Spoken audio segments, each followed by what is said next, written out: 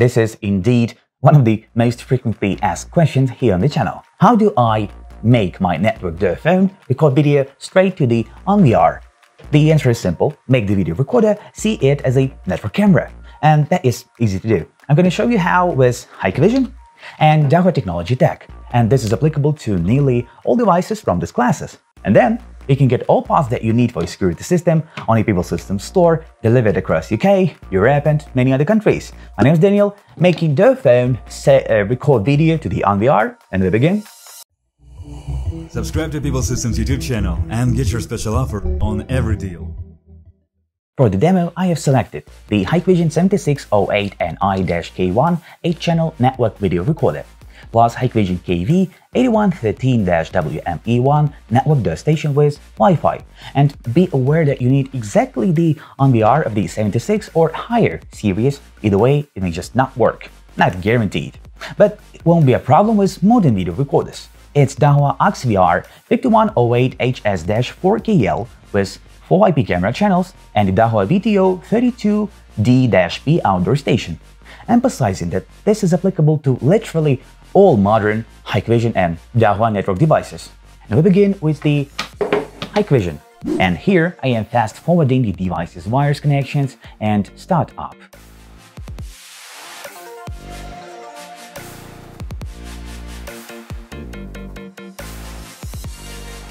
Here's the hard drive, 12 volt power there, network via to both. Here it is, and here it is. This one's PoE, and it's coming from the network switch. And now let's just finish this one up and turn it on. As for the software part, I am using a Hikvision SADP and IVMS 3200 to activate both devices.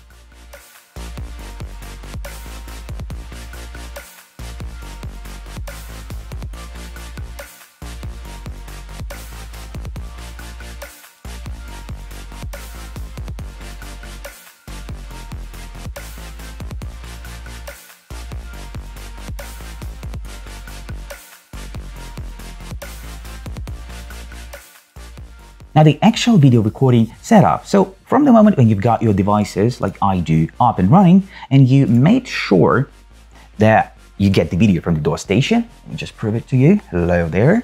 All right, so we need the video recorder settings, and I'm gonna use the web version because I'm really used to it.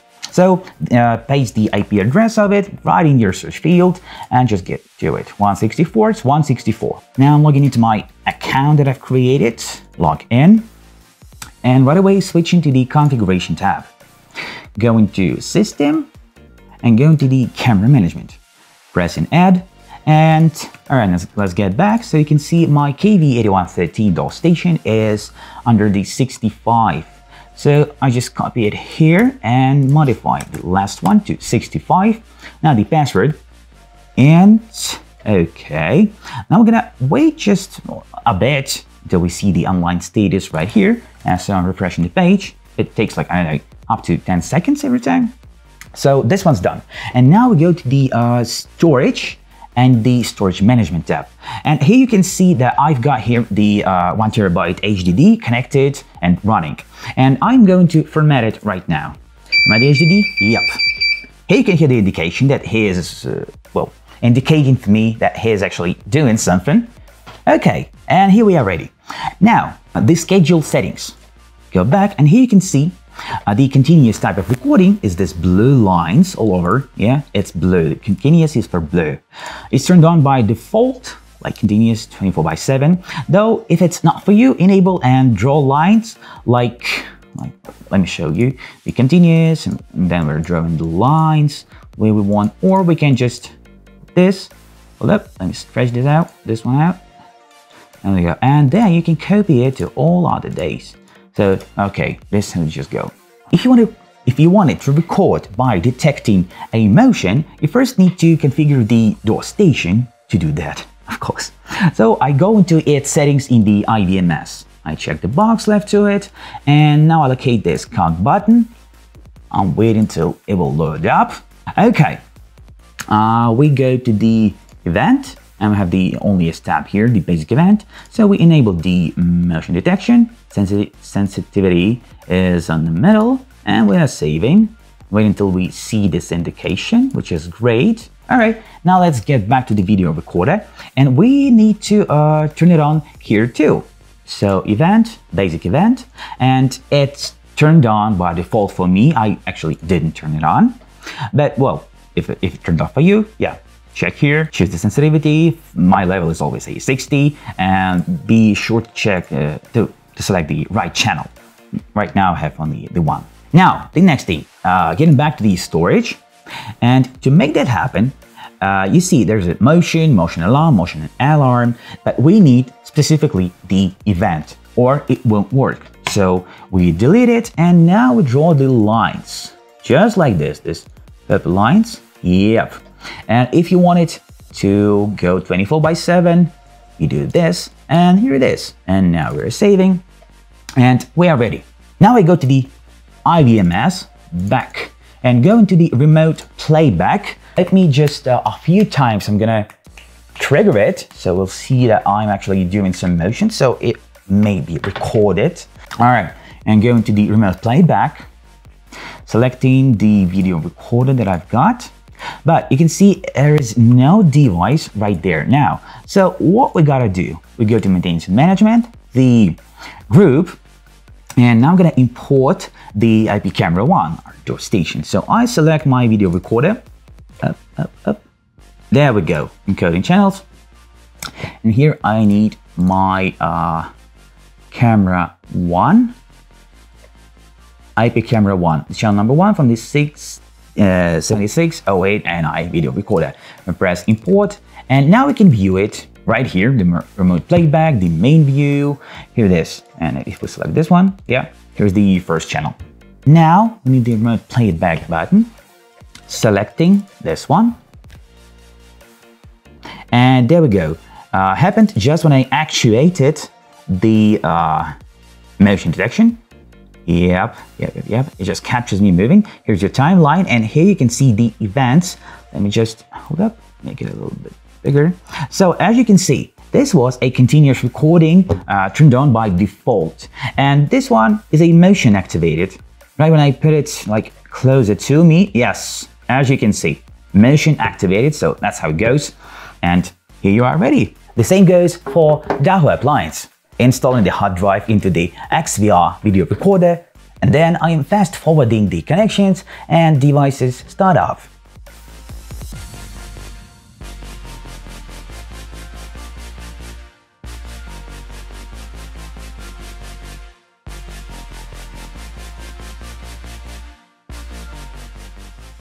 Now, here's the hard drive, 12 volt PSUs here and here, and the network via UTP to both devices. And now we're gonna one and two. The software part with Dahua is no software part. I'm using devices web interface for activation.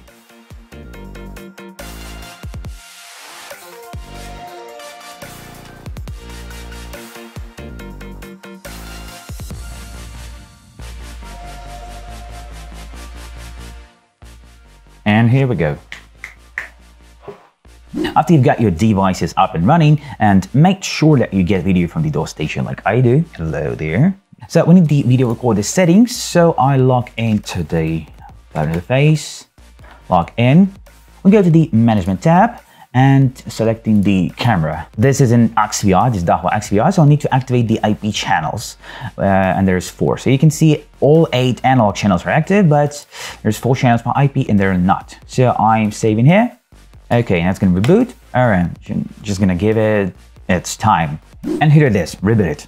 Now, let me just get back there. Yeah, here it is, rebooted. Now again, the measurement tab again, but uh, the camera, but you can see it's a new tab. Right here is the registration, and I'm gonna use that. So this will be the manual add, channel 9, because all other are for analog. And let's go Dahua, IP address is uh, 1, and then it's 110. 110, great, username, password, and should be good and saving. Now just gonna uh, wait, yeah, it's a red indication here, so wait up to minute and refresh and getting the uh, green. So refresh and here we are. All right, so now we can uh, view my door phone straight from the uh, video recorder. So let me get that close, go to live mode, select it right here, channel number nine, so I select it, and here you are. Again, now it's uh, directly, it's straight, straight. All right, so now we need the uh, management storage. So into management, go into storage, the HD manager, and as you can see, I've got a one terabyte hard drive in here. And if you were using yours uh, earlier, don't forget to format it in here. Here's this button. Uh, now we need the schedule. So uh, selecting our channel, channel number nine.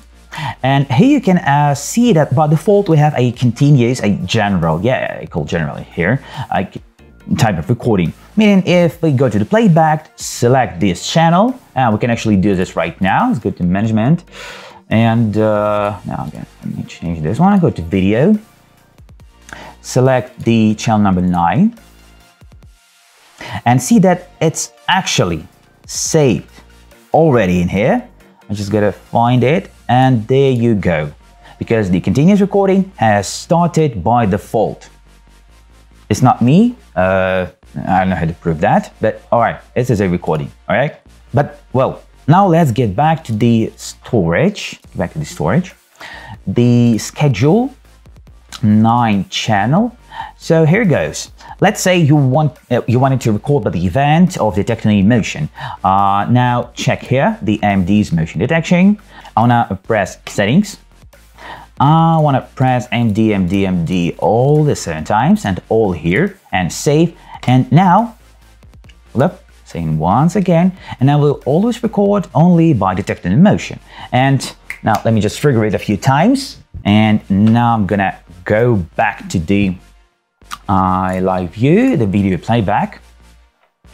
Uh, channel number one, channel number nine. Uh, where are you? There we go. There we go. And uh, and what I wanted to show you is the motion triggered recording. Let me just find that. Oh, there we go. Yeah, actuated by the motion. Here we are. There it is. I was trying to activate it like this, and here I was not moving, I suppose. all right, but it's all done. It's already. Building your security system. Get all parts that you might ever need on the Pipl System store following this link or the one in the description. And thank you for watching.